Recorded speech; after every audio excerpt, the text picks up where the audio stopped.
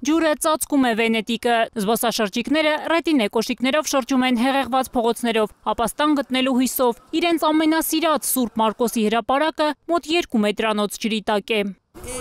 Ամեն ինչ թաց է։ Երբ փողոցում տեսանք ռետինե կոշիկներ վաճառող կնոջ, մտածեցինք, չէ, մենք խաջ աղջիկներ ենք, ինչներիս է պետք։ Այդ ժամանակ ջուրը այսքան բարձր չէր, բայց հետո, չգիտեմ։ Կարճ ասած մենք լողում ենք։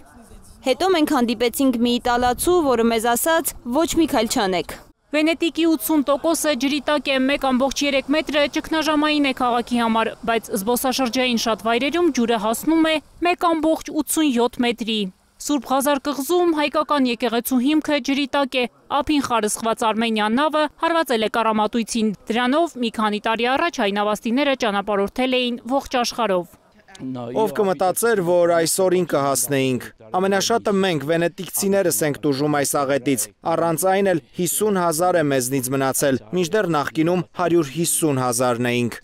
Երկու մարդ է մահացել, իշխանությունները արտակարգ դրություն են հայտարարել։ Քաղաքապետ Լուիջի Բրուգնարոն թվիթերում գրում է, որ իրավիճակը սաստիկ լարված է, իշխանություններից աջակցություն է խնդրում։ Մենք շատ մեծ գին կվճարենք ու այս ամենը կլիմայի փոփոխության պատճառով։ Ջուրը Վենետիկում վերջին անգամ այսքան բարձրացել է 1966-ին, երբ հեղեղը ծածկել էր ոչ միայն Վենետիկը, այլև իտալական այլ քաղաքներ։